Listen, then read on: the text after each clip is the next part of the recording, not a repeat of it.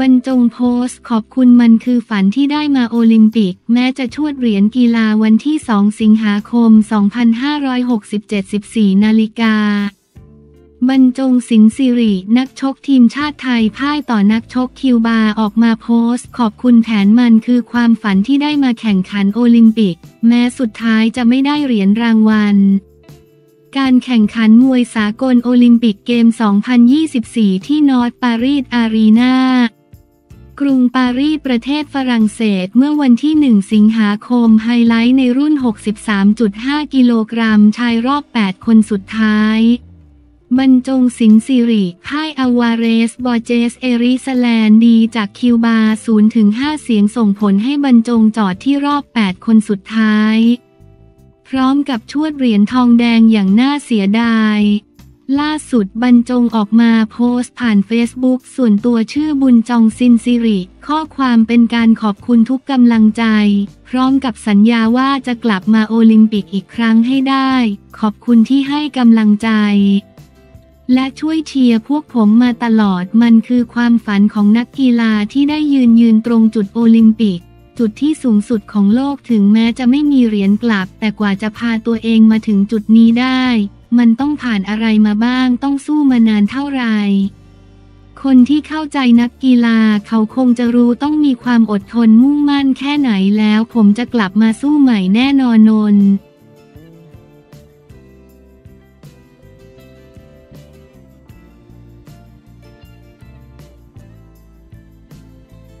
ธรรมเผยวันที่ 5 สิงหาคมถแถลงมีร้านค้าใดบ้างร่วมดิจิทัลวอลเล็ตคาดมากถึง 2 ล้านร้านการเมืองวันที่ 2 สิงหาคม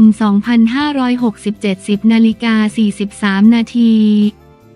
ภูมิธรรมชี้ยอดลงทะเบียนดิจิทัลวอลเล็ตวันแรกสะท้อนความต้องการประชาชนเผยวันที่ 5 สิงหาคมนี้พร้อมแถลงเรื่องร้านค้าที่จะเข้าร่วมโครงการ คาดมากถึง 2 ล้านร้านเมื่อวันที่ 2 สิงหาคม 2567 ที่ทำเนียบรัฐบาลนายภูมิธรรมเวชยชัย รองนายกรัฐมนตรีและรัฐมนตรีว่าการกระทรวงพาณิชย์ให้สัมภาษณ์ถึงการลงทะเบียนผ่านแอป ทางรัฐ เพื่อรับเงิน 10,000 บาทในโครงการดิจิทัลวอลเล็ตว่าแม้จะมีข้อขัดข้องบ้างเล็กน้อย แต่สามารถดำเนินการได้ การที่ประชาชนมาลงทะเบียนแค่วันแรกถึง 16 ล้านคนสะท้อนว่าความต้องการในเรื่องนี้มีอยู่จริง ๆ และประชาชนกำลังเดือดร้อนหนักอยู่จริง ๆ ซึ่งดิจิทัลวอลเล็ตช่วยในเรื่องนี้ได้ หากเราตามดูวันนี้พรุ่งนี้อีก น่าจะเห็นภาพว่าการลงทะเบียนทั้งหมดที่ประชาชนเข้าร่วมโครงการนี้ ซึ่งเป็นปัจจัยสำคัญที่จะทำให้โครงการนี้ประสบความสำเร็จไม่น่ามีปัญหาอะไร โครงการนี้มีเป้าหมายอยากให้ประชาชนมีส่วนร่วมในการกระตุ้นเศรษฐกิจ ฉะนั้นที่เราให้ไปไม่ใช่เงินแจก แต่เป็นเครื่องมือที่ให้ประชาชนได้เข้าร่วมกระตุ้นเศรษฐกิจ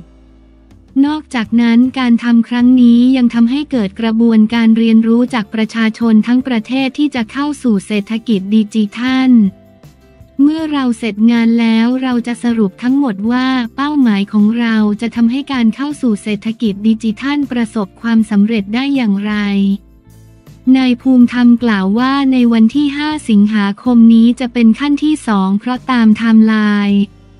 จะเป็นวันที่เราแถลงเรื่องร้านค้าที่จะเข้าร่วมโครงการ ซึ่งเราคิดว่าเราสามารถนำเข้าระบบตามที่เราเตรียมการไว้ตอนนี้ 2 ล้านร้าน ซึ่งเป็นการร่วมมือของหลายภาคส่วน ทั้งองค์กรปกครองท้องถิ่น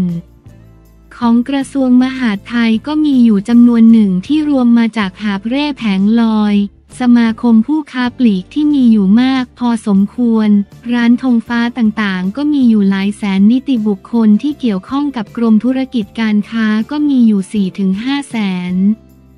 ทั้งหมดนี้เป็นกระบวนการที่เคลียร์มาหมดแล้ว โดยร้านค้าเหล่านี้คือร้านค้าที่ยังมีบทบาทดำเนินการอยู่ จริงๆ เราเริ่มทยอยลงทะเบียนแล้ว เพราะเรากลัวว่าจะไม่ทันแต่ทั้งหมดเมื่อเริ่มดำเนินการตามไทม์ไลน์แล้ว เชื่อว่าจะเข้าหมดเมื่อประชุมเสร็จเรียบร้อยหลังจากที่มีการติดต่อเข้ามาทั้งหมด เราสามารถบอกได้ว่าจำนวนร้านค้าทั้งหมดเข้ามาได้อย่างไร สิ่งที่สำคัญเราเชียร์ร้านค้าให้เชื่อมโยงกับประชาชน ว่าร้านค้าภายใต้การขับเคลื่อนกับกระทรวงพาณิชย์ ท่านเข้ามาเกี่ยวข้องแล้วจะลิงก์กับประชาชนที่เข้ามาซื้อขายและลิงก์กับระบบของธนาคารทั้งหมดได้อย่างไร แม้ตอนนี้ยังไม่สรุปวันลงทะเบียนอย่างเป็นทางการ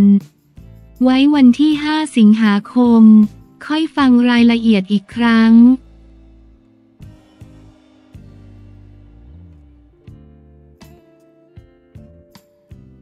กำปั้นหญิงฮังการีลั่นไม่กลัวนักชกมีปัญหาเพศสภาพ มั่นใจดีพอเอาชนะได้กีฬาวันที่ 2 สิงหาคม 2567 เที่ยงคืน 47 นาที นักมวยหญิงฮังการีคู่ชกรายต่อไปของกำปั้นแอลจีเรีย ซึ่งกำลังเป็นประเด็นด้านเพศสภาพ ลั่นไม่สนกระแสในตอนนี้เชื่อตัวเองดีพอเอาชนะอีกฝ่ายได้ ลูกาอันนาฮาโมรีนักชกหญิงฮังการี เผยไม่ได้รู้สึกกังวลที่จะต้องเจอกับอิมานคาลิฟจากแอลจีเรีย ซึ่งกำลังเป็นประเด็นด้านการตรวจเพศสภาพ โดยบอกว่าขอสนใจแต่ตัวเองเท่านั้น และเชื่อว่าตัวเองดีพอเอาชนะอีกฝ่ายได้เลยด้วยสำหรับคาลิฟเป็นหนึ่งในสองนักมวยหญิงที่เป็นประเด็นเช่นเดียวกับ ลินอยู่ทิ้งจากไต้หวันหลังทั้งคู่ได้รับไฟเขียวให้แข่งขันในกีฬามวยสากลสมัครเล่นโอลิมปิกเกม 2024 แม้จะเคยถูกริบเหรียญรางวัลในศึกชิงแชมป์โลกเมื่อปี 2023 หลังไม่ผ่านการตรวจระดับฮอร์โมนเพศชายในร่างกาย จากนั้นในการชกรุ่นน้ำหนักไม่เกิน 66 กิโลกรัมรอบ 16 คนเมื่อวันที่ 1 สิงหาคมคาลิฟใช้เวลาเพียง 46 วินาที ในการผ่านด่านแองเจล่าคารินีจากอิตาลี หลังอีกฝ่ายขอยอมแพ้เพราะสู้ไม่ไหว ซึ่งคาลิฟเตรียมจะเจอฮาโมรีในรอบก่อนรองชนะเลิศต่อไป ฮาโมรีกล่าวว่า เราไม่เคยประมือกันมาก่อน ฉันไม่สนเรื่องราวหรือประเด็นในโลกโซเชียลมีเดียขณะนี้ ฉันแค่ต้องการโฟกัสที่ตัวเองเท่านั้น ฉันไม่รู้สึกกลัวฉันจะขึ้นบนเวทีและคว้าชัยชนะ ฉันมั่นใจในตัวเองและผู้ฝึกสอน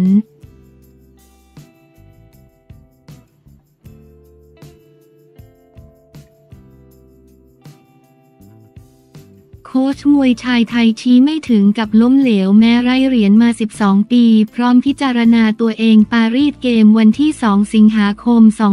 2567 11นาฬิกา20 นาที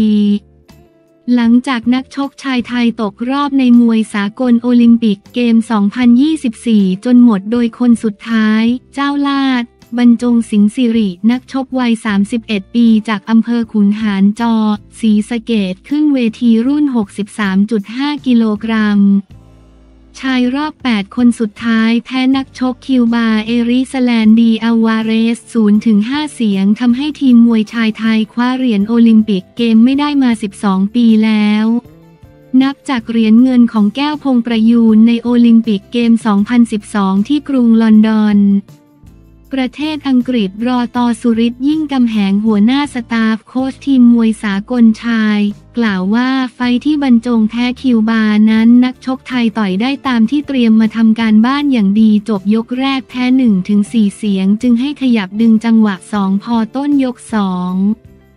นาทีแรกทำได้ดีมากทว่านาทีสุดท้ายมาโดนอาวาเรสต่อยไปคำนวณแต้มไปด้วย พอรู้ว่าแพ้ก็รีบเดินด้วยความเป็นมวยสมัครเล่นอาวาเรสดีกว่าแข็งแรงจุดตัดสินคือนาทีสุดท้ายของยกที่สองที่คู่ชกเน้นความแข็งแรงครั้งนี้ต้องขอโทษพี่น้องชาวไทย เราทำเต็มที่แล้ว ยังเหลือนักมวยหญิงสองรุ่นขอแรงใจชาวไทย เชียร์ขอโทษพี่น้องชาวไทยที่ทำทีมไม่ประสบความสำเร็จในครั้งนี้ แต่ถามว่าล้มเหลวไหมคิดว่าไม่ล้มเหลว เพราะรูปแบบการแข่งขันปรับเปลี่ยนไป สมัยก่อนหนึ่งพอยนี่สิบพอยจากนับคะแนนทีละหมัดเป็นให้คะแนนเมื่อครบยก เมื่อถามว่าจะทำทีมมวยไทยต่อหรือไม่รอตอสุริตกล่าวว่าแล้วแต่ผู้บริหาร แต่พร้อมพิจารณาตัวเอง ส่วนเรื่องกระแสกดดันโลกโซเชียลนั้น